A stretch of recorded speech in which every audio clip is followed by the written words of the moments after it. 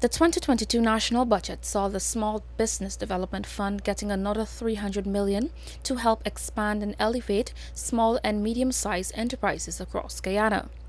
To facilitate this and with more than a thousand SMEs already registered, one-stop shops are planned for every region this year.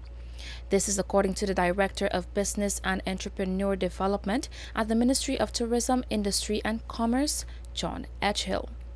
We know Region 4 gets a lot of um, public sector allocation because of it's a central port, the main business is being done here. But we want to ensure that employment grows in every single region. Region 9, with its 20,000 people, deserve that kind of intervention. Region 2, with its 50,000 people, deserve that kind of intervention. Region 8, as well, deserves those, those interventions. So we will do an expanding um, small business one-stop shop in those regions. Regions 1 as well. Last year, more than 700 SMEs benefited from the fund.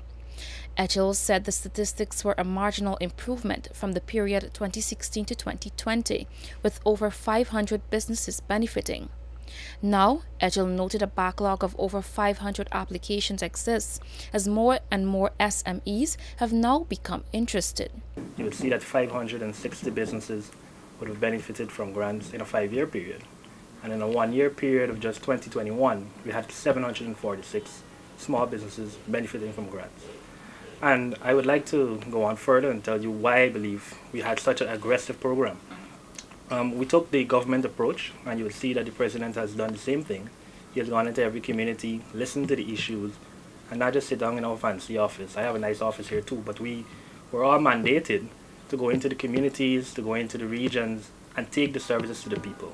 Already, the government has outlined plans to provide training in business management, record keeping, and business plan writing. Beyond just developing those businesses, the government is actively working to provide a market for the products developed by those small business owners. Reporting for the newsroom, I am Shakima Day.